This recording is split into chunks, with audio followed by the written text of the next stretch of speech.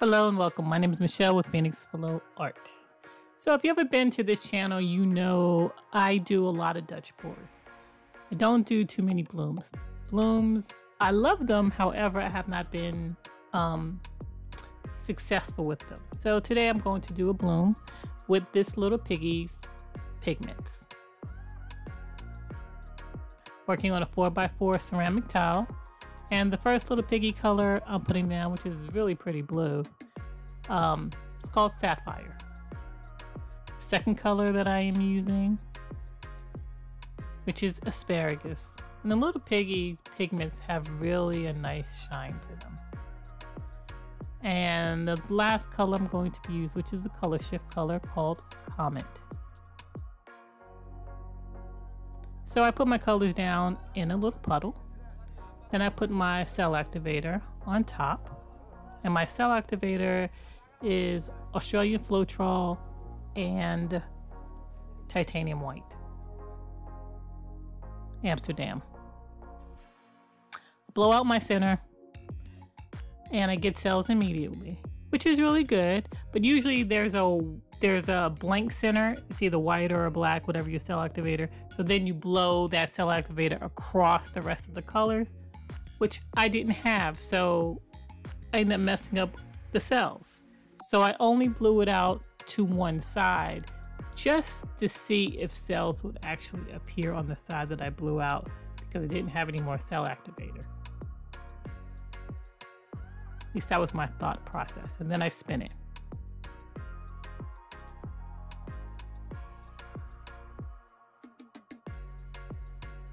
Spin it several times and it was a fail because no cells actually appeared. And then of course it was really unbalanced um, because I blew out halfway, half, half, half of the tile and the other half had cells on it. So then I try to tilt it to bring it back to the center, the side with cells to see if it would look any better. And in my opinion, it did not. But I keep spinning, hoping and wishing something would happen. And it did not. So what I end up doing is scraping this tile and starting over.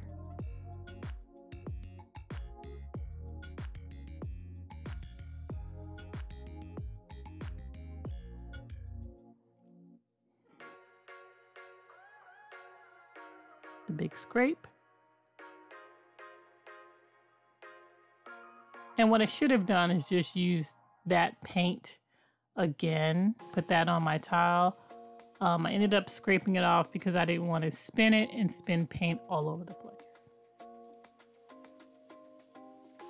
So again, I put my pillow on, which is a house paint. Then I use the same three colors and we try it again. Again, the colors are Sapphire, Asparagus, and Comet.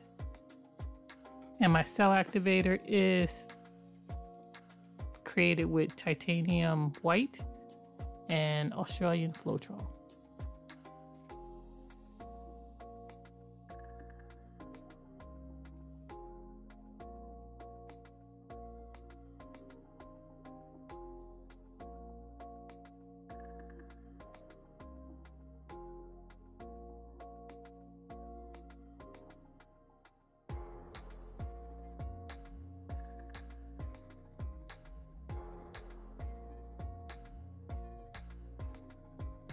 This time I stacked the colors up twice just to see what would happen.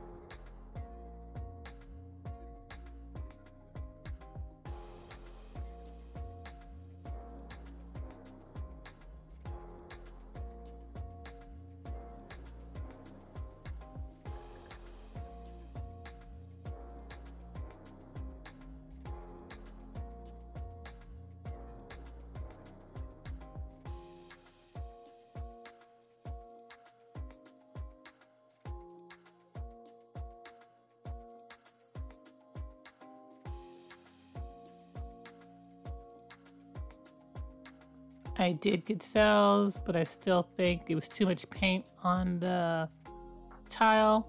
And I also think my base coat, my pillow was very, very thick. Um, so on the last one, I actually thinned it out a little bit.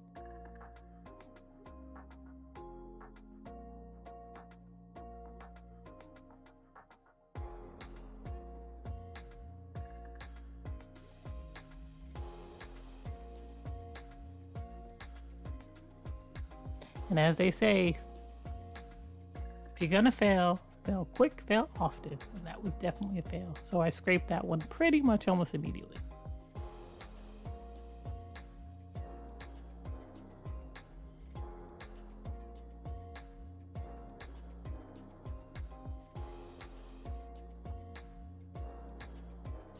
I put some of the paint back on top of the um, the tile, kind of mixed it up a little bit. And then I did put a little bit of GAC in my pillow. This time, what little pillow I did put on it, it did have GAC in it, so it wasn't as thick. Um, and then I started to put the colors on the exact same way again, but then I said, you know why? Might as well do something a little bit different, hoping to get a different result. So I start with the comet this time, which is actually is kind of odd choice, I think, but went backwards. and did the comet, asparagus, then the sapphire.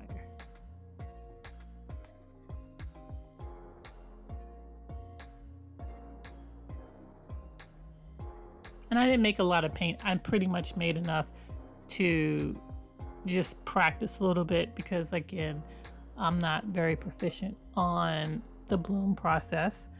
Um, so I wanted to make sure I at least played with it, used up all the the paint that I was going to use for these tiles.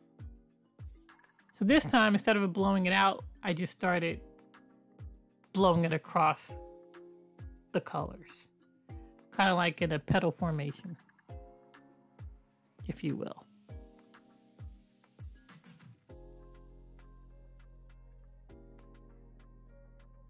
And I still got the cells in the center, which was good.